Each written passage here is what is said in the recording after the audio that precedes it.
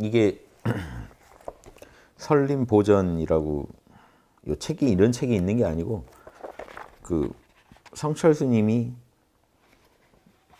도노돈수 즉각 견성에서 붙여드는데 도움되는 최고 경전들을 모아서 한 책을 만들어 놓은 거예요. 그게 육조단경, 도노입도 요문론, 전신보묘, 신신명 증도가 요거 요게 이제 그리고 선교교 사명대사 아 뭐죠 서산대사 서산대사 선교 선교결 도노돈수 유결이죠.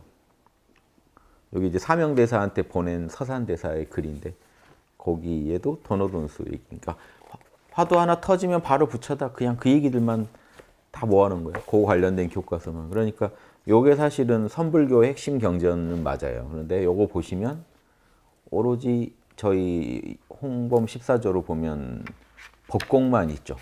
구공은 없습니다.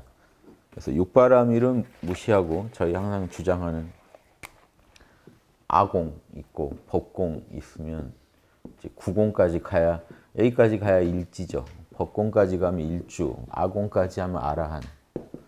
이게 딱 공식입니다. 어제도 이런 얘기 많이 들었는데 요거를 분명히 아시면 불교적인 얘기인데요. 요걸 가지고 설명하면 참 쉬워요. 이해가.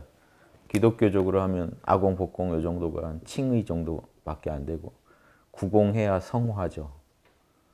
그래서 아주 이제 영화 이런 거는 이제 에너지체 만드는 얘기니까 불교로 치면 한 이지는 돼야 일지까지 다 마무리 짓고 이지로 나아가는 겁니다. 그 전에 에너지체 만들 수도 있어요. 에너지체는. 근데 지금 이지의 에너지체라는 건요. 일지가 단단히 굳어진 게 이지예요. 육바라밀을 최우선시하는 경지가 일지라면 그런 삶이 또 단단히 굳어져서 땅처럼 굳어진 경지가 이지예요. 그때쯤에 그때쯤에 이 차크라 각성된 에너지체가 빛을 발합니다. 그 전에 에너지체 얻으신 분도 있어요. 있는데 그분들은 이 에고가 아직 다스려지지 않았기 때문에 우주적으로 볼 땐 제대로 된 에너지체라고 안 보는 거예요. 그러니까 기운은 모였지만 영혼이 각성되지 못했기 때문에 안 쳐주고 기독교에서 영화, 불교에서 이 의성신 만든다 이런 자리가 이제 한 이지는 가야 금강신 만든다 하는 게 그때는 돼야 에너지도 원만하게 차크라도 다 열리고 정신은 정신대로 청정 광명이 좀 밝아지고 그때쯤 해서 우리가 그 기독교적으로 영화 하면 딱 맞거든요 레벨이 그래서 이 정도 그림을 그리고 공부하시면 그래서 지금 뭐 이런 건 차치하고 지금 요, 요거 요거 하나씩 잘 닦아 가시는 게 중요합니다. 그래서 그 선불교는 오로지 이겁니다. 법공. 아공은 이제 요 안에 녹아 있죠, 사실. 법공 아는 양반은 요거를 명확히 깨뚫었다면 그 정권 다 들어 있는 거예요. 그러니까 반대로 단계적으로 공부하려면 요거 공부한 다음에 요거 공부하는 게 순서에 맞고요. 나 구공을 다 알아. 그러면 아공, 법공도 다 아시는 거예요.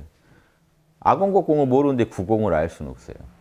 그러니까 난 육바람일 잘 알아 일반인이 육바람일 나 보니까요 육바람일 다 내 마음이 딱 이래 이렇게 사는 게 맞지 그런다고 그런데 아공 복공 아시나요? 그럼 몰라요. 그러면 구공을 잘 모르신 거예요. 육바람일에 대해 부분적으로 인가하신 거지 구공이 지닌 의미는 우주에 있는 공에 육바람일이 진리밖에 안 들어있다는 거예요. 이걸 안다는 건좀 다른 차원이거든요. 온 우주가 육바라밀로 꿰뚫어 보여져야 돼요. 육바라밀만 하면 온 우주가 문제가 다 풀려. 동양인들이 음양오행으로 우주 만물을 다 이해했듯이 육바라밀로 우주 만물을 똑같이 다 이해하면 구공입니다. 그래서 예전 선비들은 구공의 달인들이에요. 그러니까 불교보다 선비들 중에 고단자가 조선시대 때 많이 나온 이유가요. 구공만 연구하니까요. 거기는 구공을 바로 들어가니까 아공, 복공은 그 안에 다 들어있어요. 구공 안에. 구공을 이해해버리면. 천지만물이 음양오행의 작용인데 음양오행의 정수가 태극이 내 마음 안에 있어요. 유교 논리가.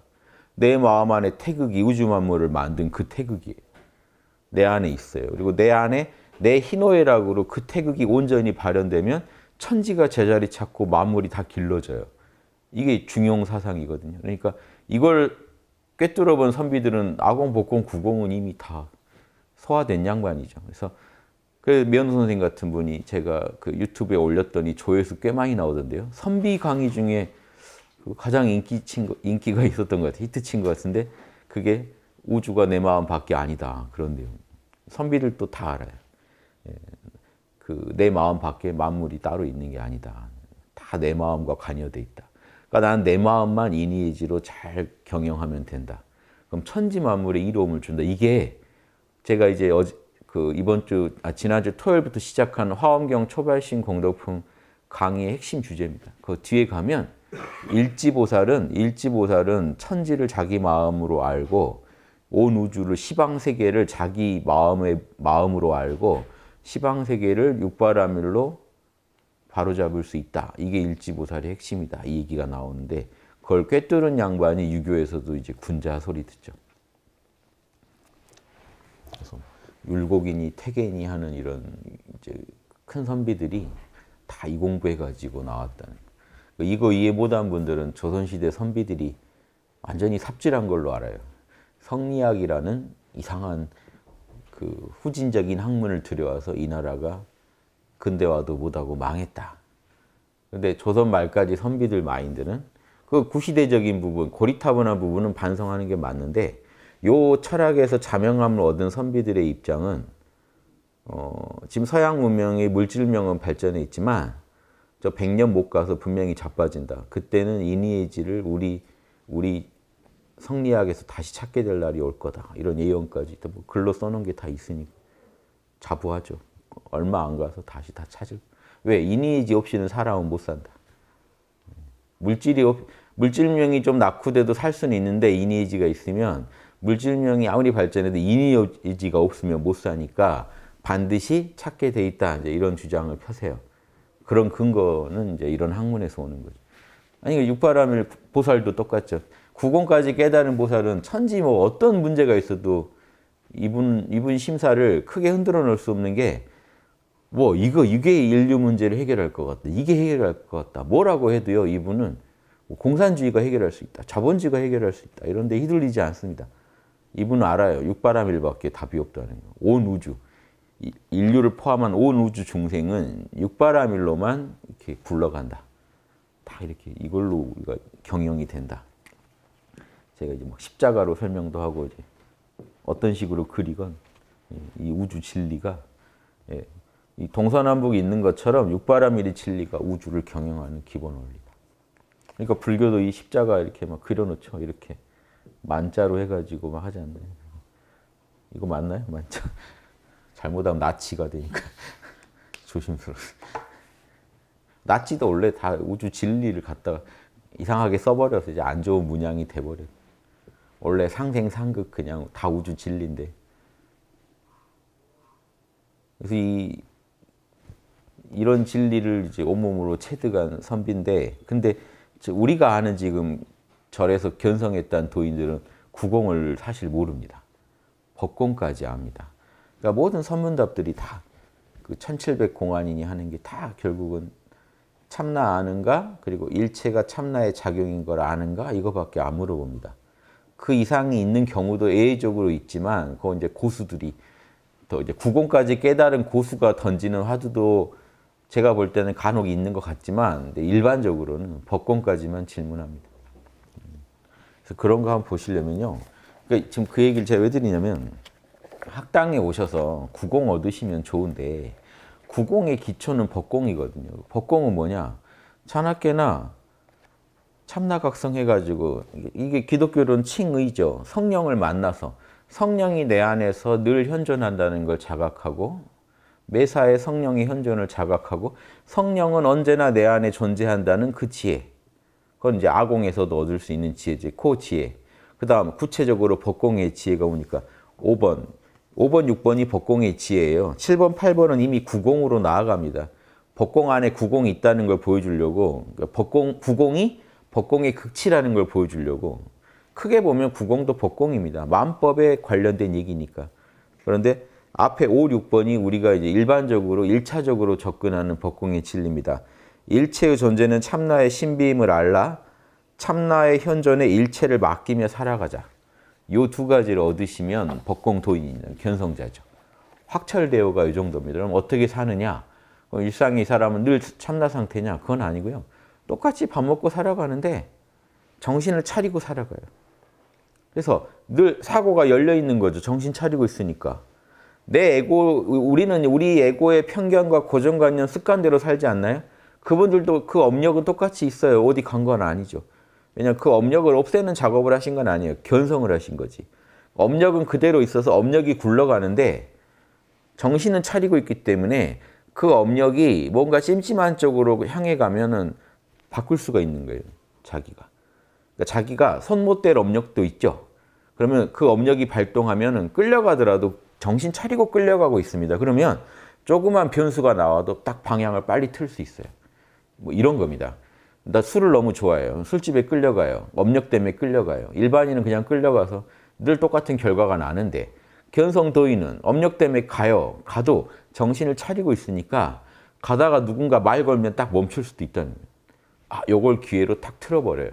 딱 깨어가지고, 음, 나랑 또 더 의미 있는 일 하자 하고 중간에 길을 바꿀 수도 있다는 거예요. 근데 일반인은 그러고 저러고 가죠, 이제. 일어날 일이 또 똑같이 일어나는데 도인은 업력은 인정하되 그 업력에 끌려가는 중에도 정신은 차리고 있으니까 조금만 상황 봐서 탈출할 수도 있다는 겁니다. 여건만 되면 탈출할 수 있다. 그게 엄청 큰 차이입니다. 뭐술 아니라 뭐라도 하세요. 내가 좋아하는 것에 다 끌려가고 있다가 그냥 끌려가고 일반인은 이 양반은 업력이 발동하니까 이걸 못 맞겠어서 마음이 그쪽으로 너무 동하니까 가곤 있는데 정신은 차리고 있으니까 가다가 뭐 작은 사고나 작은 어떤 다른 사람 만나거나 다른 변수가 개입되면 그걸 핑계로 틀어볼 수 있다는 거예요. 빨리 빠져나올 수 있어요. 그것만 해도 어딘데요. 가다가 가다가 오 하고 가스 안 꺼놓은 것 같은데 하고 빨리 집에라도 뭐라도 핑계 대서 탈출만 하면 이제 업을 튼 거잖아요. 근데 그게 정신 차리고 있는 중에 일어나죠. 정신 안 차리면요. 정신 차리고 있다 보면요. 아 하늘이 이거 하지 말라는가 보다 하고 빨리 판단하고 빠져나와 버립니다. 가다가도. 그러니까 그게 달라요. 근데 안 차리고 있으면 그러건 저러건 갑니다.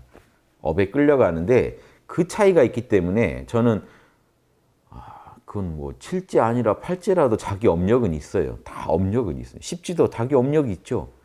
업력에서 자유로울 수 있는 존재는 없습니다. 우주에. 업력은 있는데 경영을 하느냐의 문제잖아요. 그런데 일주보살이 되면 그래도 법공, 마음법이 모든 업이 참나 작용이라는 건 알았다면 뭔 좀 달라야 되잖아요. 그걸 좀 고민해 보셔야 돼요. 일반이라고 뭐가 달라야 되잖아요. 뭐가 다를 것인가? 참나, 결국 참나입니다. 참나의 현존을 늘 자각할 수 있다. 깊은 참나와 함께하는 상태는 늘 아닐 수 있지만 정, 가벼운 정신 차림으로도 우리는 참나의 현존을 자각하면서 살아간다. 그러니까 제가 늘 말씀드리지만 은은하게라도 자각하며 살아간다. 이거 카르마 경영 책에도 다 있습니다. 아주 카르마 경영이 기본이니까요. 은은하게라도 참나의 작용을 느끼면서 살아가면 남하고 시비부터 싸우는 중에도 정신을 퍼뜩 차릴 수 있단 말이죠. 업력 때문에 끌려가다가도 딱 정신 차리면요. 새 사람 될 수가 있어야 됩니다. 여기서 뭐냐면 왜 새 사람이 되냐? 거기서 업력으로 가는 게 아니라 자명해라고 물어볼 수 있어야 되거든요. 그러면 참나를 늘 은근히 자각하자 하는 거는 선정이죠. 자명하면 이게 반야입니다. 자명하면 선택할 수 있. 자명한 거 알아볼 수 있는 눈은 있어야죠. 그러면 이 견성도인이 일반이라고 똑같이 살아요. 술 드시고 뭔지 다 할 수 있어요. 견성도인도. 오지감이 인도의 그 아주 최고 유명한 견성도인 마하르시도 카르마가 발동되는 건 아무도 못 막아하고 오직 알아차릴 수 있을 뿐, 즉 참나로 존재할 수 있을 뿐 카르마가 일어나는 거 못 막아할 정도로 카르마 일어나는 걸 포기하고 인도 도인들은 그냥 가요. 못 막아요. 견성했다는 걸로 못 막아요. 근데 이, 이쪽에서는 카르마를 그렇게 숙명론적으로만 해석하지 않죠. 개척할 수 있다고 보니까 자명하게 깨어서 올바른 선택하면 운명이 바뀔 거 아니냐. 좀 더 적극적입니다. 인도는 되게 그 참나 도인들은 많아도 운명, 운명에 있어서 되게 소극적이에요. 카르마가 이미 다 정해져 있어서 우리가 그거 관여하지 말고 어떤 내 운명, 카르마가 발동하든지 업력이 발동하든지 모른다만 하고 깨어서 살아가자 이런 주장이 강해요. 근데 이쪽 견성, 선불교는 그런 건 아닙니다. 선불교는 승명론적이지 않아요. 과거의 뭐 숙명, 정해진 운명은 인정하지만 그 업력을 내가 경영할 수 있다고 봅니다. 단 육바라밀로 경영하자는 얘기는 온전히 안 나온다는 거예요. 법공도인들은 깨어서 참나한테 맡기고 가면 극복할 수 있다는 거예요. 참나한테 맡겨버리면 참나의 지혜, 참영한 반야바라밀이 나와서 상황을 바꿀 수 있다. 근데 재밌는 게 그 자명한 반야가 그 자명 찜찜을 판단할 때 뭐로 하겠습니까? 육바라밀로 할 거 아니에요. 그러니까 사실은 법공도인만 돼도 육바라밀에 대해서 모른다고 할 수는 없어요. 그런데 이게 달라요. 법공도인은 자기가 확실히 얻은 거는 선정과 반야예요. 즉 참나 각성과 언제든지 참나를 자각할 수 있는 그 힘과 선정력과 참나 입장에서 에고랑 다른 참나 입장에서 더 자명한 걸 선택할 수 있는 힘은 얻었어요. 그런데 이분이 육바라밀 노트를 가지고 선택하면 육바라밀에 맞는 걸 자명하다고 여기겠죠. 따라서 이분만 해도 육바라밀을 잘할 수 있죠. 그래서 견성만 해도 대단하다고 하는 겁니다. 일주보살만 돼도 찬양해 주는 게 이미 이 양반은 육바라밀을 선택할 수 있는 힘을 얻었어요.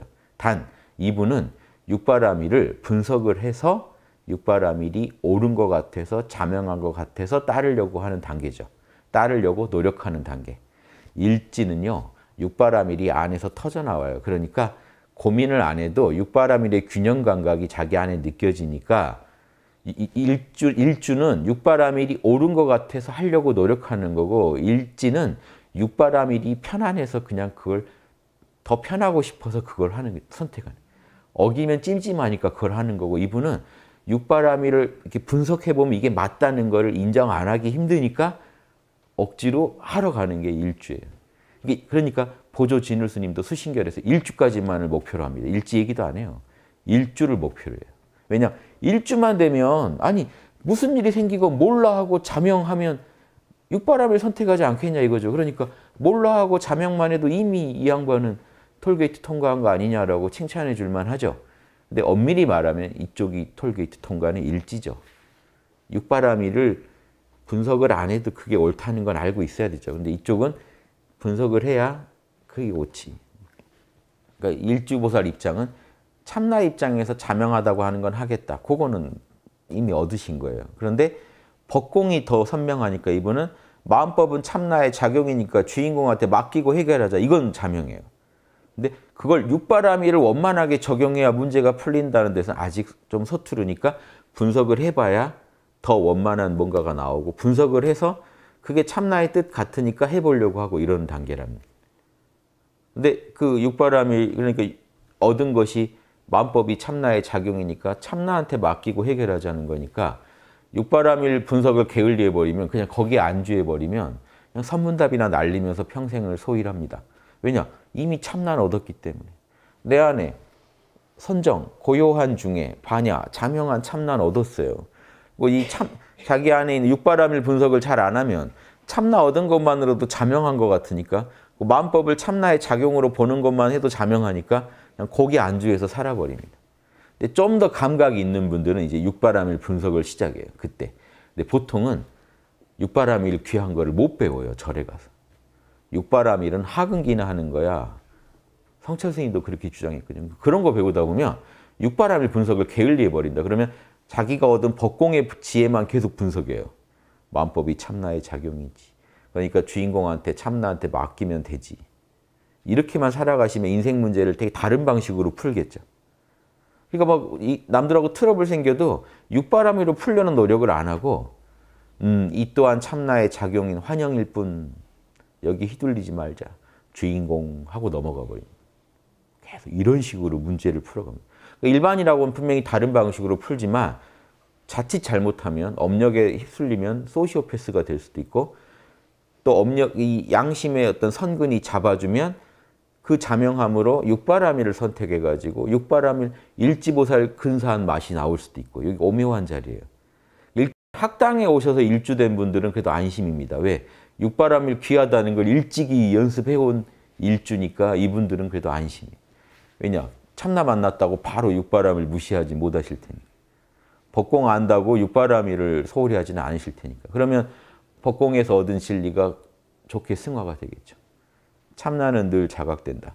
뭔일 있어도 참나 자각해야 돼. 사시는 중에 학당에서 이런 말들은 제 얘기를 하도 들어서 한 7년, 8년 오래 들으신 분들은 지금 막 머리에 박혀 있어요.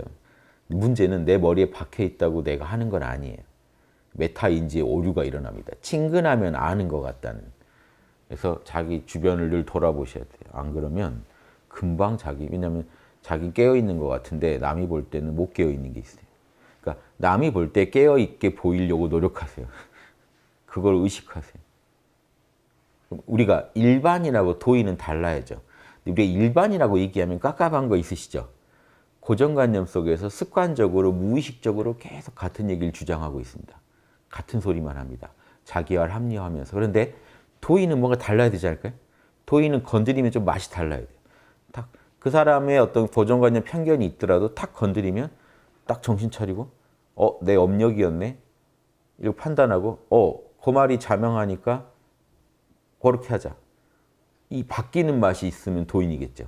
이런 분 만나기 쉽지 않아요. 죽을 때까지 같은 얘기만 하고 죽어요, 우리가. 나이 들면 더 심해져요. 자기 법계가 더 견고해지거든요. 평생 그렇게 살아와서 나는 뭐 크게 힘들지 않았다 그러면 점점 그 법계가 진리 같아져요. 그런데 이게 노자에서 말한 딱딱한 상태거든요. 부드러우라는 게 열린 상태잖아요. 그러니까 죽을 때까지 열려 있는 분이 사실은 청년이죠. 이제 기억나요. 봉호 선생님이 80, 90 되시는데도 자기는 그 청년, 청년 때의 그 웅지가 그대로라 자기는 청년 같다는 거예요. 만주 들어가야지 막 이런 막 웅지가 어, 빨리 홍익인간에서 뭐될것 같으신 거예요. 홍익인간에서 인류를 바로 잡으면 인류가 바로 잡힐 것 같은 막 그 마음을 저도 이제 알죠. 근데 막 근데 그런 걸 막 써놓으신 시가 있어요. 이 뭐 이 마음이 그대로라. 그 청년 때 마음 그대로다. 진리를 사랑하는 분들은 나이 들어도 청년 같죠. 왜? 더 자명한 거 있으면 움직일 용의가 있으면 청년입니다. 근데 내가 진리야라고 선포할 때부터는 이미 이게 어려서부터 이미 딱딱해집니다. 요즘 젊은 친구들도 딱딱해요. 딱 딱딱해져 있어요. 남의 말 안 들어요. 살기도 힘든데 내 법계나 지키자 하고 딱 자기 세계만 지킵니다. 그냥. 근데 열려 있는 분은 그 나이, 육신의 나이가 그분의 마음을 구속할 수는 없잖아요. 마음이 열려 있는데. 더 자명한 걸 추구하는. 그러니까 깨어서 더 자명한 걸 추구하는 분이 사실은 견성도인이에요. 근데 딱딱해져 버리면 일반인이에요. 우리 일반인하고 대화하면 되게 힘드실 거예요. 빤한 얘기를 계속 그 법계에서만 살려고 하잖아요. 자극을 줘도. 근데 일반 도인은 달라야죠. 건드리면 딱 정신 차린 맛이 이분은 정신을 차리고 지금 얘기하고 있구나. 그 자기의 마음에 대해서도 깨어 있구나. 자기 마음이 고집을 부리면요. 고집 업력이 있으니까 고집을 부리다가도 어 요거, 여기까지는 아니야 하고 탁 틀어버리는 맛이 나와야 돼요. 그럼 그런 사람하고 대화하면 되게 맛이 다르겠죠. 그럼 내가 자명한 얘기를 하면 먹히는 거예요. 일반인은 내가 자명한 얘기를 해도 그 사람이 원하는 얘기가 아니면 안 먹혀요. 근데 도인은 그 사람이 원하지 않는 얘기여도 내가 자명한 걸로 다가가면 자명한 거에는 반응을 해줘요. 아무리 싫어도. 그, 그, 그, 그 사람의 업력과 에고에서는 되게 거부해도 정신 차리고, 야, 정신 차리자. 참나 입장에서 보자. 너 지금 습관적으로 거부하고 있는 거 아니야? 저 말에? 저게 자명할 수도 있잖아. 이, 이 정도는 할 수 있는 게 견성도인이죠. 그리고 그 깨달은 진리가, 자명하게 깨달은 진리가 일체가 참나 작용이라는 건 아무리 확인해 봐도 맞더라 하는 그 정도는 알고 계시니까 일체를 참나 작용으로 보니까 결국 그 얘기는요. 내가 사는 내 마음에서 지금 나타나는 생각, 감정, 오감이 내가 사는 우주의 전부란 걸 알고 있으니까 그 우주를 자명하게 경영하려는 그 마인드는 있다고요. 법공도인들은. 마을이시는 아공, 법공 그 중간쯤에 존재합니다. 법공에 대해서 아는데도 되게 우주에 대해서 소극적이죠. 근데 선불교는 달라요. 법공을 제대로 알면 뭐, 뭐, 술 마시고 고기 먹고 하는 거에는 이게 안 걸립니다. 왜냐하면 일체를 참나의 작용으로 보니까. 내가 경영을 하니까 먹어서 더 자명하면 먹어버리는 거이 사람들은. 술 한잔 하는 게 뭐라고 그 쪼잔하게 그술 먹네 맞네. 그게 뭐라고요. 그냥 마시고. 예수님처럼 입에 들어가는 게 너를 더럽히는 게 아니고 네 입에서 나오는 게 너를 더럽힌다. 이런 법공 마인드로 그냥 가버려요. 그러니까 그 벌써 견성도인만 돼도 현재 불교의 어떤 계율 체계에서 사실 그 사람들 감당 못해요. 더 나가서 구공까지 가버리면요. 육발의 면에 맞으면 뭔 짓도 해버립니다. 이분들은. 그 이분들을 사실 감당할 교리가 아니에요. 지금 대승불교, 우리나라 대승불교의 어떤 계율이나 모든 그 경영 조직 운영하는 걸 보면요. 소승불교가 조금 확장된 소승불교가 좀 세고 세속에 좀 적응된 수준밖에 안 돼요. 근데 벌써 법곡만 가도 천지만물이 내 마음의 작용이다라고 보는 시각인데 그러니까 이분들만 해도 선불교만 돼도 벌써 고기 먹고 곡차 술 곡차라고 해서 마시고 이런 거 구속 안 받거든요. 그거 먹는데 막 식은땀 흘리고 하면 오히려 지적받죠. 천지만물이 네 작용인데 이거 그 술에 손이 떨리면 고기에 손이 그러니까 옛날 견성도인들은 막 자기 제자 불러다 고기 먹이고 막 그러면 파르르 떨리죠. 안 먹, 이제 먹으면 큰일 난다고 생각하는 사람은 네 공부가 그 수준이다 하고 지적해 줍니다. 오히려. 그러니까 이게 이게 벌써 차원이 달라지는 거예요. 네 눈앞에 있는 걸 이거를 지금 너는 네 참나 작용이라는 걸 모르겠냐 하고 공격해 버린다고요. 그러니까 법공도인만 돼도 자유로운데 육바람이라 면 이제 진짜 자유가 오죠. 근데 이, 이 자유는 아직 이제 그 구공에 비하면 모자란 자유지만도 이 자유에 심취해버리면 내 안에 참나 있다는 거랑 법공으로 우주를 해석한 데서 오는 그 자명함 이걸로 천지에 내가 이제 걱정이 없어진다고 생각. 왜냐하면 죽는 순간까지 그 모든 게 내 참나의 작용이요. 거기서 어떤 희비극이 펼쳐진들, 혹은 또 업력의 작용이고 그 업력과 내 도력이 만나서 그 안에서 난 자명하게 그 모든 업력을 참나의 작용으로 꿰뚫어 보고 내가 또 자유자재하게 술을 놓으면서 법공에 술을 놓으면서 살아가면 그게 그게 보살도야 하고 쳐버립니다. 사실은 보살도는 더 나아가야 되는데 여기까지밖에 모르니까 그게 다지 하고 가버려요. 그런 거 제가 설명드릴게요. 그래서 여러분이 그 학당에서 이제 일주의 경지, 법공도인의 경지로 나아가시라는 건 고기술 얻으시라는 거예요. 언제 어디서나 참나를 자각해서 정신 차리실 것. 그리고 자 선정만 얘기하다 보면 오해하실 수가 있어요. 바쁜 일과 중에 딱 정신 차리고 있다는 게 참나만 보고 있다는 게 정신 차린 게 아닙니다. 더 자명한 걸 선택할 수 있는 게 정신 차린 거지.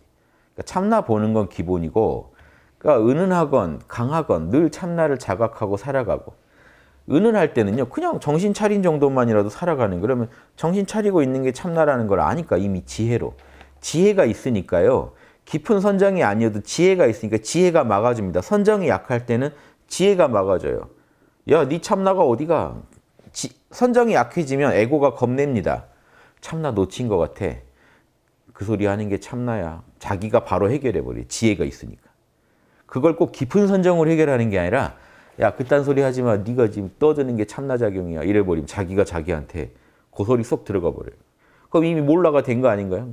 이런 식으로 굴 살아가요, 이분은. 그래서 남하고 싸울 때도 정신 차린 게 이미 선정인 줄 알아요. 또 깊은 선정 필요하다고 안 해요. 그냥 요 선정이 선정이라는 거 아니까. 그럼 정신 차리고 네가 선정이면 자명한 선택해봐 해가지고 법공의 근거에서 남하고 싸울 때도 그 자체에 매몰되는 게 아니라 좀 더 큰 차원에서 보면서 욕을 하건 뭘 하건 자명한 거 있으면 다 해버리고 그 더 자명한 거, 덜 찜찜한 걸 계속 찾아가는 거죠. 자기 지혜의 근거에서. 그러니까 해라 마라 높는 거예요. 법공까지만 가면요. 계율이 이 사람을 못 막아요. 계율은요. 그건 그냥 딱 이상론이잖아요. 술 먹지 마라. 이제 살다 보면 별의별 상황이 터지는데 그 계율이 그 상황에 그 상황을 감안하고 만든 계율인지도 알 수 없어요, 사실. 이 계율 만든 양반이 이 상황을 겪어봤을까도 알 수 없어요. 상황이란 게 얼마나 다양한데. 근데 그걸 하고 있다가 그 아공은 아공도인들은 숲에서 사니까 그거 지킬 수 있는데 법공도인은 벌써 천지가 내 집이에요. 이분은 출가라는 것도 이미 의미가 없습니다. 천지가 내 집인데 천지가 내, 내 마음이고 내 마음이 내가 사는 천지고 그게 내 우주인데 술 한잔 안에 바르르 떨 이게 말이 안 되거든요. 근데 이제 이렇게 깨어있지 못하면서 술 고기 탐닉하면 그건 그냥 땡중인 거고요. 이거는 깨어서 이걸 하기 때문에 이 사람은 다른 차원이라는 거예요. 겉모습은 똑같아 보여도 속이 다르다는 그럼 카르마가 다르게 발생합니다. 속이 다르니까. 그래서 깨어서 견성 복권 꿰뚫어 보고 살아가는 도인은 또 다른 삶이 펼 승, 승의 모습을 할 수도 있고 속인의 모습을 할 수도 있고 자유자재. 그건 거죽이니까. 이 정도만 돼도 최고인데 이 정도는 뭐로 얻느냐? 선정과 지혜로 얻는다. 그래서 육바람일 덧닦을 미천이 만들어지는 게 일주다. 그러니까 제가 항상 말씀드린 이건 영성계의 석사입니다.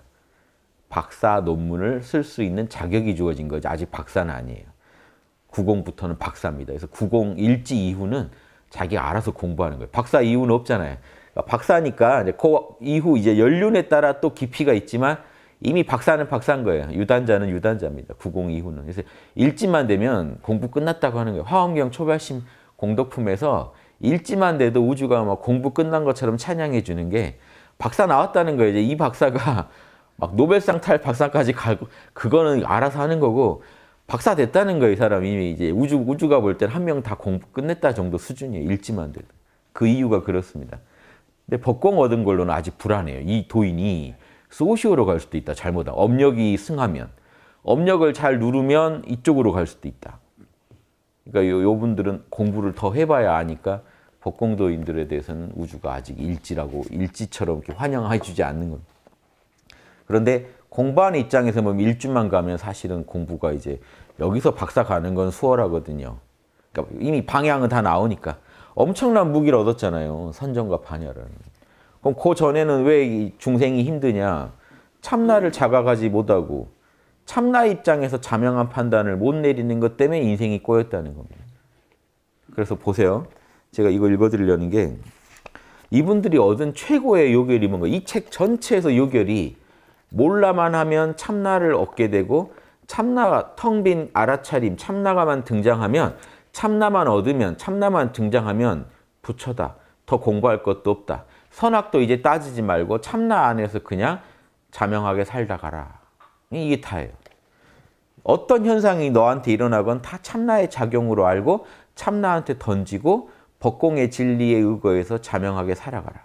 육바라밀이 아직 안 나오니까 요 얘기밖에 못 해줍니다. 여기에 육바라밀이 곁들여지면 육바라밀이 자명하다 쪽으로 흘러서 일지보살이 될 텐데 요 얘기를 모르면 여기에 만족해버리면 그냥 딱 법공도인은 그 정도가 맛입니다. 그 제가 보여드릴게요. 돌을 닦다가 몸으로 봅니까? 마음으로 봅니까? 눈으로 봅니까? 귀로 봅니까? 보는 건 여러 가지로 보는 게 없느니라. 이거는 자성이 보느니라. 네 본성이 본다. 왜냐하면 자성이 본래 청정하여 다면이 또 고요하여 텅 비어 있는데 그 고요한 본체 가운데서 능히 보는 것이 나오느니라. 그럼 이 양반들은 뭐 저기 지금 얘기하는 아트만이라고 욕먹을 만하죠. 참나가 실체가 있냐 없냐, 뭐 열반이 실체가 있냐 없냐 싸우는데 이분들은 그런 싸움에 아예 관심도 없습니다. 텅 빈 고요한 본체 중에 보는 놈이 있다. 그게 참나다. 거기서 본다. 이거 육군 작용, 생각 감정의 작용 다 거기서 보는 거다. 다만 청정한 본체조차도 오히려 얻을 수 없는데 이 보는 이 본다는 건 어디서 나오는 겁니까? 아니 청정한 본체도 텅 비었다면서 어디서 보는 거예요? 이해가 안 되니까 제자가. 비유하자면 밝은 거울 가운데 모양이 없으나 일체 모양을 비출 수 있는 거랑 똑같다. 거울이 텅 비어 있다고 못 비추냐 이거죠. 뭐 우리들 하던 얘기죠. 그더 깨달은 거 아니에요. 이분들이 딱 그 정도 한 거예요. 생각, 감정, 오감을 일체 몰라 해버리면 텅 빈 거울이 되고 텅 빈 거울은 실체가 있죠. 비추고 있다. 실체는 있는데 생각, 감정, 오감으로는 안 잡히니까 텅 비었다고 하는 것뿐이고요. 그냥 이게 다예요. 이걸 가지고 인도 아트만이랑 똑같다 그러면 똑같은 거죠. 아무튼 이분들은 이게 진리라고 본 거예요. 우리 안에는 텅 비어 있지만 알아차리는 실체가 있다. 왜냐하면 밝은 거울이 무심하기 때문이라. 마음, 밝은 거울에는 어떤 때도 마음의 때도 없다. 배우는 사람이 만약 마음에 물든 바 없어, 즉 몰라 해버리면 생각, 감정, 오감에 물들지 않으시고요. 몰라 해버리면 망심이 나지 않고 주객도 사라지면 자연이 청정하고 청정해진 까닭에 보는 놈이 생기는 거다. 청정하면 보는 놈이 있다. 어떠세요? 그냥, 이, 이게 다예요. 이분들이 주장하는 거는. 또 뭐 있어? 음.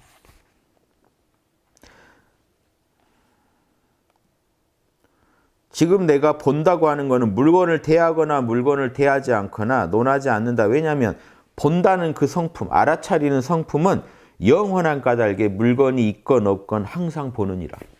항상 보고 있는 그놈이 있다. 그런 까닭에 물건에는 본래 스스로 가고움이 있으나 본다는 성품에는 가고움이 없다. 그러니까 거기가 영생의 자리인 거예요. 영원히 알아차리고 있는 그 자리가 내 안에 있다는 거 알면 그게 영생의 핵인 거예요. 그게 영원한 거죠. 생각, 감정, 오감 다 무상한데 영원한 게 내 안에 있다. 이런 이분들은 그냥 이런 거 주장. 이 책 전체 이 얘기밖에 안 해요. 마음만 비우면 알아차린 놈 나온다. 그러면 도인이다. 근데 이 재밌는 거 하나 읽어드릴게요. 도노는 보시바라밀로부터 육바라밀리기가 나오는 글이 있어요. 근데 보세요. 이 도노의 문은 어떻게 들어갑니까? 보시바라밀로 들어간다. 이 얘기를 왜 했냐면 육바라밀도 먹어버리려는 논리예요. 참나 안에 원래 육바라밀이 들어있으니 법공만 깨달으면 육바라밀도 이미 그 안에 온전하다 이 주장하려고요. 육바라밀 안 하면서 하지도 안 해놓고. 이해되시죠? 육바라밀도 자기들 걸로 먹으려고 보세요. 참나 안에 원래 육바라밀이 있죠? 이건 알아요. 이 법공 도인도. 예, 예, 예리한 분은 알아요. 모르는 분도 있고. 모르는 분도 있어요. 그것도 복공 안에서도 깊이가 다릅니다. 영적 선근의 깊이가. 자, 이 에고를 넘어서서 참나만 알면 끝난다. 참나 안에는 육바라밀이 원만하게 갖추어져 있으니 참나만 얻으면 너는 이미 부천 거다. 이런 논리를 할 때도 육바라밀을 갖다 써요. 이분들도 알긴 아는 분들이에요. 이 얘기하는 분들은. 어떠세요? 그럴싸하죠. 참나 안에 원래 육바라밀이 있어요. 그러니까 몰라만 하고 있으면 육바라밀이 이미 온전하게 갖춰진 겁니다. 이런 분 많죠, 저한테. 그런데 왜 또 꼭 노트를 써야 되나요? 이렇게. 결론이 노트 쓰기 싫어요. 막 이런. 학당에 수없이 질문했던 분들인데 이 논리가 사실 있어요. 법공에는. 법공 도인들은 그 주장을 해요. 보세요. 보시바라밀만 하면 들어간다. 어, 그런데 저 부처님은 육바라밀 전체를 보살의 행위라고 하지 않으셨나요? 근데 왜 보시바라밀 하나만 얘기하시나요? 미혹한 사람은 제, 제가 미혹한 사람이에요. 지금 이분이 볼 때는. 지금 이, 이 스님 누구예요? 이분 이름 알아둬야지. 마조 스님 제자 대주 스님인데요. 이분이 볼 때는 제가 이제 미혹한 사람입니다. 그러니까 교종들, 교학자들이에요. 그 미혹한 놈들은 그 나머지 다섯 바라밀이 보시바라밀에서 나는 걸 몰라. 그래서 보시만 보시바라밀만 하면 육바라밀이 다 갖춰지는 걸 몰라. 그러니까 그딴 소리 하는 거야. 그러니까 이제 제자가 상식으로 이해가 안 되니까 육바라밀을 다 닦아야 되는데 왜 보시 하나만 얘기하나? 왜 보시만 닦으면 다 들어있다고 하나? 이걸 물으니까 보시를 설명해 주마. 뭘 보시하는 겁니까? 두 가지 성품, 이원성을 보시해 버리는 거다. 보시는 버린다는 거예요. 이원성을 버려버린다. 그럼 이원성이 뭐냐? 선악, 선도 악도 버려버리래요. 왜냐? 에고의, 에고가 가지고 있는 게 이원성이죠. 저도 이 강이 있어요. 오직 이원성을 초월하십시오. 이원성만 따지지만 않으면 바로 참나다. 신신명예, 지극한 돈 어렵지 않으니 따지지만 마라. 이원성, 옳으냐 그르냐 따지지만 마라. 몰라 해버려라 이 소리를 선악을 보시해버려라가 선악 몰라 하라는 거예요. 선악 몰라 해라. 내가 선한지 악한지도 몰라 해버리고 있는지 없는지도 몰라 해버리고 이쁜지 미운지도 몰라 해버리고 공인지 공이 아닌지 산란한지 선정 상태인지도 뭐 깨끗한지 더러운지도 다 몰라 해버려라. 그걸 보시해버려라. 그러면 공함을 얻는다. 모두 보시해버리면 공함을 얻는다. 그러니까 보시바람일만 하면 만 가지 인연이 끊어져 버린다. 보세요. 보시바람일만 했는데 이미 세상을 초월해 버렸어요. 다른 바람일을 닦을, 닦을 필요가 없죠. 왜냐 목표가 원래 참나각성이니까 이분들은. 이분들은 육바람일의 구현이 목표가 아니에요. 참나각성이 목표고 참나 자리에서 이 우주를 법공의 관점에서 해석하는 게 목표니까 보시바람일만 하면 이미 참나를 얻어서 참나 관점에서 우주를 바라볼 수 있는데 나머지 바람일을 왜 닦냐는 거예요. 일체처에 무심하게 된다. 보시바람일만 하면. 그러니까 이제 거기다 하나 더 들어요. 사익경이라는 경전에 이르기를 보시바라밀을 이제 자기 자기 입장에 맞는 경전을 근거로 돼요. 보시바라밀이란 번뇌를 버리는 게 보시요. 모든 만법에 대해서 번뇌가 안 일어나는 게 지게요. 다 같은 소리예요. 분별심만 버리면 보시예요. 분별심 버리면 보시바라밀이요. 분별심이나 번뇌가 안 일어나면 지게바라밀이요. 안 일어나면 청정한 거잖아요. 계율은 청정한 거니까. 자, 내려놓는 거는 분별심을 지금 번뇌 같은 겁니다. 를 내려놓고 지게는 이거 안 일으키면 청정한 거니까 번뇌 분별심 안 일으키면 지게요. 모든 법에 대해서 손상한 이 번뇌나 분별심으로 훼손되지 않으면 인욕이요. 그런 걸로 열받지 않으면 인욕이요. 분노하지 않으면. 그 모든 법에 대해서 형상을 떠나버리면 정진이요. 그 나태하다는 그런 것도 다 분별심에서 나오니까 분별심 떠나버리면 지금 다 똑같은 소리예요. 분별심으로 통일해 볼게요. 분별심을 버리면 보시요. 분별심이 안 일어나면 지게요. 분별심에 훼손되지 않으면 인욕이요. 분별심의 형상을 떠나면 정진이요. 분별심에 집착하지 않으면 선정이요. 분별심에 대한 망상이 없으면 반야니라. 게임 끝났죠. 그 육바라밀 하기 너무 쉽죠. 몰라 하는 순간 육바라밀이 다 들어있는 거예요. 그 안에. 몰라 할 때 보시바라밀을 했잖아요. 그럼 나머지는 따질 필요도 없이 그냥 이미 들어있는 거죠. 육바라밀을 이렇게 이해한다는 거예요. 그래가지고 이게 여섯 가지 법이라고 하느니라 지금 다시 여섯 가지 법에 이름을 붙이면 내가 다시 정리해주면 버리는 게 보시요 일어나지 않는 게 지게요 훼손되지 않는 게 인욕이요 형상 떠나는 게 정진이요 집착 안 하는 게 선정이요 망상 없는 게 반연이라 이렇게 여섯 가지 법을 원래 그냥 참나 하나인데 여섯 가지 바람일의 이름을 정해놓은 거는 방편으로 가짜 이름을 세워놓은 거다. 근데 이걸 모르고 꼭 미혹한 자식들이 알지도 못하고 여섯 가지 법에 그 여섯 가지 숫자에 집착해 가지고 여섯 가지 법을 육바라밀을 다 해야 된다고 주장하면서 오래도록 생사에 윤회하느니라 보살도 하는 걸 이렇게 욕하는 겁니다. 보살돼서 지가 육도 윤회하면서 중생 구제한다고 육바라밀 닦는다고 빨리 견성하고 끝낼 일이지 견성 안 하고 육바라밀 돌면서 삽질하고 있다 이렇게 주장하는 보살도를 비방합니다. 이 견성도인들은. 이게 악질적인 부분이 이거예요. 보살이 육도 윤회를 돌면서 중생을 구제하는 행동을요. 견성고대에서 저러지라고 그래요. 이 두 분이 다 문제예요. 아라한테는 보살을 뭐라고 아세요? 저게 열반을 못 얻어서 저렇지. 육도를 돌고 있지. 견성도인은 저게 견성을 못해서 육도를 돌고 있지. 보살은요. 견성은 진지게 했는데 중생 도와주려고 돌고 있는데 돌고 있는 마음 자체가 이미 사바 세계를 참나의 작용으로 보면서 돌고 있는데 이런 이상한 얘기가 나오는 거예요. 그러니까 견성도 못하고 보살들은 견성 못했다고 봅니다. 지금 선불교 조사들은. 그러니까 보살보다 조사가 높다고 보는 거예요. 화두 잡고 터진 조사가 이미 몇 겁 전에 견성해서 중생 구제하기 위해서 일지부터 십지 가려고 돌고 있는 거를 일지도 안 되는 일주짜리들이 화두 닫고 있으면서 요 화두 터지면 끝낼 일을 저 지랄을 하고 있다 하고 진짜 제가 좀 세게 얘기한 게 진짜 이런 마음으로 보고 있어요. 보살이요 지금 대승에서도 무시받고 있는 현상이 일어난 이유가 이겁니다. 선불교가 승한 곳에서는 보살이 무시받아요. 그 지들이 진짜 보살이라 그래. 오해가 일어나는 거 아시겠죠? 아니 화두 터지는 게 보살이지. 견성을 해 제발 왜 돌아다녀. 일지, 십, 일지부터 십지가 한다고 우리는 견성하면 바로 붙여야 이렇게 이렇게 생각을 하는 거예요. 그러니까 그분들 입장도 수철이 알아야 돼요. 그래서 제가 예전에 소승과 대승은 막 결별하라. 사주도 필요 없다. 빨리 이혼하라. 막 이런 거 외쳤잖아요. 일단 둘은 너무 다르다. 그런데 대승 안에서도 선불교랑 이 보살도가 얼마나 다른지 아셔야 돼요. 둘도 대승 안에 들어와 있는 소승이에요. 견성. 이 선불교가. 아라 안에 어떤 다른 변형된 모습입니다. 법공 아라 아니에요, 사실은. 그래서 보살도 이해 못합니다, 결국. 그 근원이 뭐냐? 보살도는 무조건 육바람이래요. 육바람이를 이해 못한다는 게 관건입니다. 지금 육바람을 이해하신 건가요, 이분들이? 이것도 자명, 이것도 자명한 부분이 있어요. 내 안에 육바람일의 종자가 이렇게 들어있는 건 맞습니다. 근데 종자 있는 것에 만족해버려요. 꽃 피우지 않아요. 그럼 자기 삶 모든 곳에서 청정함이 드러나고 나태가 안 일어나고 해야 될 거 아니에요. 그럼 나태 일어나면 어떻게 하는지 아세요? 나태 또한 참나의 작용일 뿐하고 나태해야 합니다. 그냥. 그러니까 이제 필요에 따라 마음대로 갖다 써버리는 학문이 된다는 거예요. 이 선불교식으로 가면.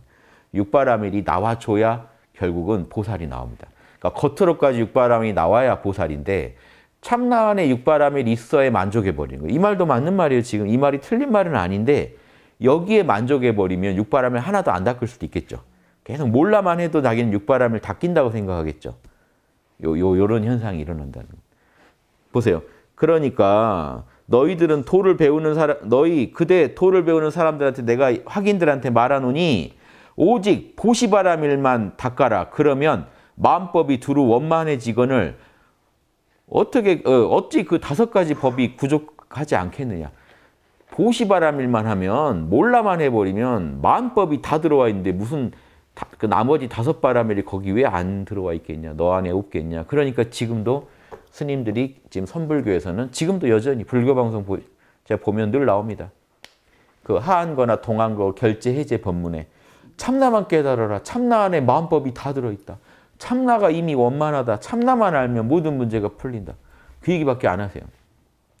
제가 그 얘기를 한다면요. 저는 보살, 저는 보살이니까 보살도 입장에서는 뭐 택도 없다는 참나는 육바라밀을 닦을, 육바라밀을 공부할 이게 석사면 박사밖에 안 돼. 이게 예, 박사면 석사밖에 안 돼요.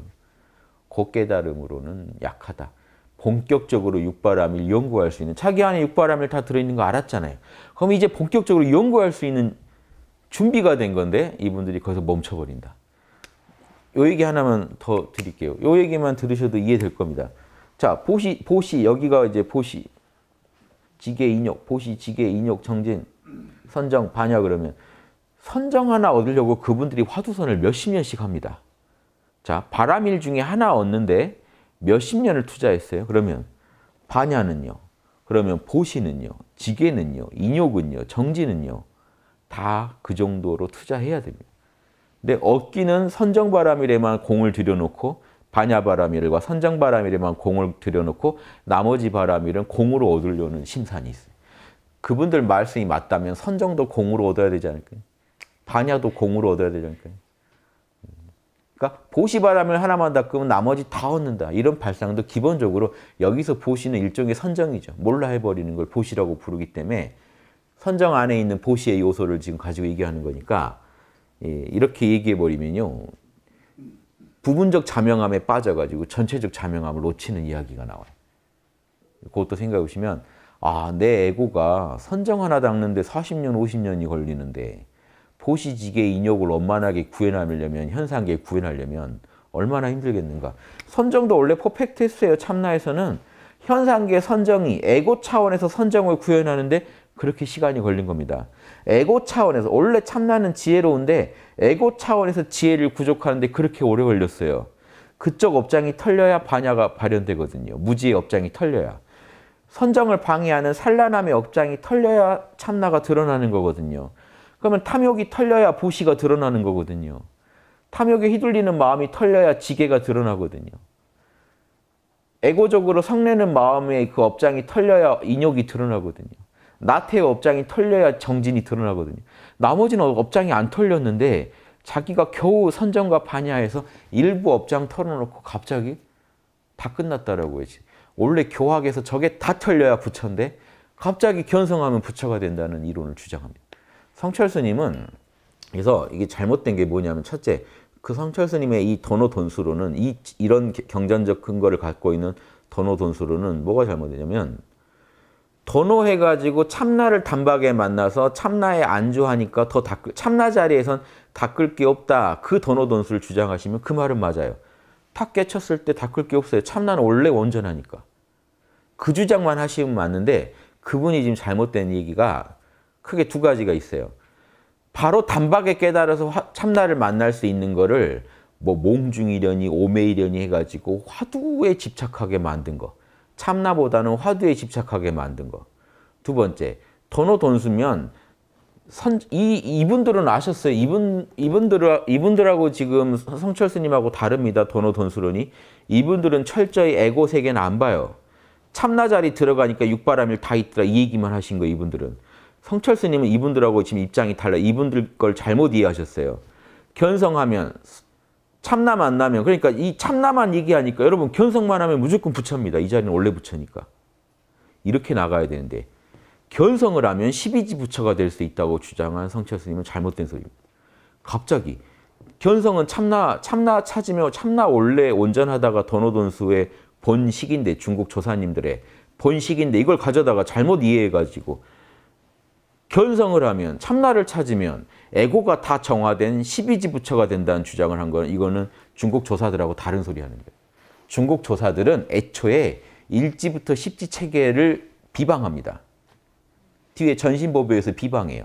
아니 견성하면 끝날 걸 왜 일진이 십진이 따지면서 유도 윤회를 헤매고 다녀? 이게 중국 조사들의 입장이에요. 그러니까 즉 일지부터 십지 체계를 아예 불허하는 거예요. 나는 참나 만났고 참나 하나만 보고 영원히 살다 갈 거야. 근데 지금 성철 스님은 참나 하나를 만났더니 십이지 부처가 돼버렸네 라는 주장을 하는 거예요. 이건 중국 스님들도 안 하는 주장이에요. 잘못된 도노, 도노, 돈, 잘못된 도노돈수 이론입니다. 이 주장 때문에 공부가 다 망쳐지는 거예요. 왜냐하면 견성은 참나, 겨, 겨우 참나 만나놓고 복공도인 대놓고 바라기는 십이지를 바라고 있습니다. 일지도 안 되는 양반이 지금. 이래서 문제가 생기는. 그럼 내가 부처인가 하면 안 맞는, 안 맞거든요. 육바라밀이 원만하진 않아요. 근데 그냥 참나만 얻은 거예요. 그러니까 그런 차원에서 부처가 되신 건데 요구하기를 교학의 부처를 요구하시면 안 되는 거예요. 교학을 무시할 거면 끝까지 무시하죠. 하셔야죠. 우리는 교외별전이야. 교학 외에 따로 전해오는 거야. 우리는 일지, 십지 그 카운터 안에 그냥 견성에서 참나 만나면 부처라고 봐. 그냥 이러고 밀고 나가셔야죠. 중국 스님들은 그랬어요. 중국 고승들은. 근데 성철 스님은 거예요. 갑자기 시험은 이걸 보고는 원 자격증은 저걸 바라신 거예요. CPA 보고 막 변호사 자격증을 바라신다거나 뭐 이런 식으로 좀 황당한 주장입니다. 그게 황당하다는 걸 지금 몰라요. 충격적인 건. 이 모순을 못 찾아내시더라고요. 저 혼자 우기고 있습니다. 잘못됐다고. 뭐 듣거나 말거나 그냥 저는. 아니 안 맞으니까. 중국 스님, 중국 더노돈스파는 오히려 제가 이해가 된다니까요. 어 힘내라고 참나만 만나면 너 육바라밀 이미 갖춘 거야. 이거 이 부분도 저도 지도하는 부분이에요. 여러분 참나만 하시면 그 안에 인이 다 있습니다. 저 이런 강의 했어요, 실제로. 왜 있냐? 아니 깨어 있으면 참나 안에서는요. 거기 나와 남이 있습니까? 인이잖아요. 그럼 나와 남이 없는데 남한테 죄를 짓습니까? 정의잖아요. 의잖아요. 거기에 부조화라는 게 있나요? 참나 상태에 예절이잖아요. 거기 무지라는 게 있습니까? 자명할 뿐이지. 그럼 지혜잖아요. 거기 나태함이 있습니까? 성실하지. 그럼 제가 이거 해놓고 참나 얻었으면 이니에지 끝난 겁니다. 이렇게 하면 이건 문제라는 거죠. 이니에지의 본질이 참나 안에서는 온전히 구현되어 있습니다. 에고가 문제입니다. 에고가 구현을 못합니다. 왜 참나 상태에 깨어 있다고 하면서도 사랑이 안 나옵니까 도대체? 참나는 나와 남이 없는데 왜 에고에서는 나와 남이 그렇게 투철합니까? 참나는 정의로운데 왜 에고에서는 그렇게 남한테 못 살게 굽니까? 참나에선 조화로운데 왜 에고는 그렇게 남하고 조화를 못 이룹니까? 상황과 조화를 못 이룹니까? 자기 처지와 조화를 못 이룹니까? 참나는 그렇게 자명한데 왜 에고는 무지투성이고 왜 찜찜투성입니까? 참나는 나태하지 않은데 왜 에고는 그렇게 틈만 나면 나태합니까? 요걸 가지고 공부하는 거예요. 그래서 견성한 뒤에 진짜 공부가 시작돼요. 사도 바울도 성령 체험, 칭의의 성령 체험 하고 나니까 자기가 찜찜해지기 시작했어요. 왜 이렇게 하나님 법을 안 따르는 거지 내가? 그 고민이 로마서에 다 나오죠. 어, 종교 불문하고 공부한 도인들은 다 똑같은 얘기를 하는데 왜 갑자기 엉뚱한 이론이 나오냐는 거예요. 견성만 하면 갑자기 에고가 다 정화된다는 주장이 왜 나오냐는 요 주장은 잘못된 주장입니다. 이거는 100% 잘못된 주장. 견성을 했으면 견성하고 보니 참나에는 육바라밀이 원만하더라. 이 주장은 저도 동의한다니까요. 그런 의미의 견성 성불, 도노 돈수. 아니 단박에 깨달았더니 거긴 닦을 게 없더라고. 도노 돈수죠. 그러니까 단박 깨달았더니 단박 닦여버린 거예요. 그 도노 돈수 맞습니다. 거기서는. 이해하시죠? 진짜 무슨 무슨 말씀 하는지. 그러니까 이런 차원의 얘기면 얼마든지 환영이. 그래서 제가 중국 조사님들 이 경전은 자주 강의하는데 그 왜그 그 제가 비판하느냐 성철 스님 주장은 중국 조사들과 의견이 또 달라서 그래요. 중국 조사들도 지금 비판거리가 있습니다. 아까 말씀드렸죠. 보살보다 조사를 높게 봅니다. 심지어 심지어 보살도를 주장한 열애의 열애 부처님보다도 조사를 높게 봅니다. 그래서 열애선은 하급선이고 조사선이 상급선이에요. 선불교에서. 조사선이 최상승선이에요. 단박에 참나로 들어가게 하는 건 조사선이고 열애선은 사선정을 닦는 거기 때문에 열애도 무시합니다. 조사가 최고예요. 선불교는. 자, 소승불교는 아라한이 최고입니다. 왜? 부처님은 어차피 내가 도달할 수 있는 영역이 아니니까. 그러니까 높이, 높이, 높이면서도 실질적으로는 아라한이 최고라는 거예요. 내가 공부하는 입장에서는. 선불교는 부처님하고 높이면서도 실질적으로는 조사가 최고입니다. 왜? 조사가 되고 싶은 거예요. 조사처럼 화두 터져서 바로 견성하고 싶은 게 목표거든요. 그러니까 눈앞의 목표가 아라 아니고 눈앞의 목표가 조사예요. 제가 견성도인 확철대오자라고 하는 분을 선불교에서는 조사스님이라고 그래서 조사가 목표입니다. 선불교는 열애선은 하급선, 에고로 닦는 선, 조사선은 단박에 견성하는 선 이렇게 구분할 때는 원래 함께 쓰기도 하는데 구분할 때는 조사선이 더 높습니다. 근데 저는 보살선, 육바라밀선을 주장하는 거죠. 전혀 입장이 달라요, 지금. 제가 지금 전 세계 모든 불교를 사실은 비판하고 그 제가 제일 옳다라고 주장하는 거냐면 그런 거죠. 어차피 가면 지옥 가도 제가 가지 뭐 여러분들은 여러분 이 얘기를 지금 역사상 안 밝혀져서 이게 제대로 안 밝혀져서 인류가 헤맨 거예요. 이 책에서 육바람이 안 나옵니다. 다 뒤지면 법권까지 나와. 제 얘기를 다 입증하실 수 있어요. 초기 불교 선사들, 초기 불교 그 공부하신 선사들, 스님들 책 공부하면 아공밖에 안 나옵니다. 절대 법공 안 나옵니다. 선불교 책 다 읽으면 법공밖에 안 나옵니다. 절대 구공 안 나옵니다. 심지어 연불선 하는 분들도 육바람일은 그렇게 탐내세요. 아미타불 안에 육바람일 다 들어있다고 합니다. 나무 아미타불 할 때 여기에 보시가 들어있고 지게가 들어있고 인욕이 들어있고 정진이 들어있고 선정 반역. 나무 아미타불하고 다 맡기니 그게 보시요. 나무 아미타불하니 죄가 안 일어나니 그게 계율이고 나무 아미타불 이름이 제 최고의 계율이요. 청정 계율이요. 나무 아미타불하고 아미타불하게 염원하는 게 크게 내 모든 거를 비우는 거니까 인욕이요. 내 치욕을 견디는 거고. 나무 아미타불 하는 게 최고의 정진이요. 나무 아미타불이 그대로 선정이고 깨어나는 거고 나무 아미타불이 깨어 있음이요. 나무 아미타불 이상의 지혜가 어딨냐. 육바람일 할 필요가 없다. 그게 또 일본 일본 정토종 고승들의 주장입니다. 육바람일 할 필요 없다. 그 시간에 나무 아미타불 한번 더 해라. 이러면 저는 또 제가 지적을 안 할 수가 없어요. 미친 거 아니냐 이렇게 주장할 이게 보살도가 망하는 이유가 있어요. 보살도가 제일 어려운 거예요. 그래서 인류가 틈만 나면 하나로 해결하고 싶어 합니다. 저 화두만 하면 안 될까요? 아니면 저 연불만 하면 안 될까요? 저 그냥 이파사나만 하면 안 될까요? 근데 우주랑 수작을 하실 기세세요. 저 이것만 하면 되는 걸로 합시다. 그게 우주가 수작이 됩니까, 우주랑? 우주는 육바라밀을 요구하는데. 육바라밀 안, 해, 안 하고 해결해 보려는 꼼수고, 육바라밀이 어려우니까 고승들이 혹시 그렇게 지도했다면 방편입니다. 일단 이거라도 하자. 하나를 해놓으면 육바라밀 중에 선이라도 그렇게 닦아놓으면 선정 안에 다 들어있으라고 꼬셔서 선을 닦아놓으면 나중에 자 이제 육바라밀 할만하지 하자 하고 꼬드기면 되잖아요. 그러니까 좋은 의미로 말하면 방편이고 예, 나쁜 의미로 말하면 그냥 그거 하나만 가지고 전체를 어떻게 커버해 보려는 욕심입니다. 꼼수입니다.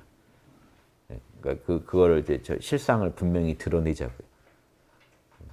저희가 그래서 이, 이 카르마 경영 책 쓸 때도 제목을 원래 육바람일 선 이렇게 잡았잖아요. 대승보살의 길 육바람일 선. 육바람일 선 아니고 화두선, 연불선 모든 선으로는 육바람일 선의 한 부분에 불과하다. 네. 육바람일 선만이 모든 것을 진리를 다 덮을 수 있다.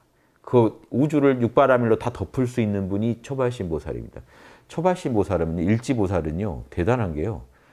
천지 우주가 내 마음작용인 줄 알죠. 법공까지 안단 말이에요. 천지 우주 만물이 내 마음작용인지 아니까 여러분 법공도인만 돼도요. 마음이 하해야 같아야 돼요. 아니 뭔 일이 지금 일어나도 다 참나의 작용이라니까요. 그 참나는 내 우주의 내 마음이고 내 우주 작용이잖아요. 다 내 안의 일인 거예요. 우주 사바세계 모든 지구 아니라 시방세계 모든 일이 참나의 작용으로 보이니까 항상 자기는 자기 우주를 이렇게 관하고 있는 거예요. 내 마음 관하고 있잖아요. 그러니까 이분이 우주에서 지금 항상 자기가 우주의 중심에 있는 분이고 우주의 이 주인공으로 살아갑니다. 내 마음 들여다보는 게 우주 들여다보는 거니까. 내 생각, 감정, 오감뿐이니까요, 우주라는 게. 이것만 해도 얼마나 환희의 자리입니까? 그러니까 일주보살만 돼도 우주 다 끝난 것처럼 이야기를 해요. 일 마친 도인이니 막 이 소리가 나와요. 진짜로 그, 그 경지가 진짜 그래요. 내가 우주의 주인공이 돼서 내 마음을, 마음자리를 다 관하고 있다는 게요. 이게, 이거, 엄청난 얘기, 이야기거든요. 근데 문제는 이렇게 관하고만 있다는 거죠.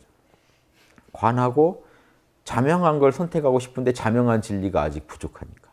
경영이 뜻대로 안 됩니다. 육바람일까지 알고 나면 이제 어떻게 될까요? 그 일지보살의 경지가 짐작이 가실까요?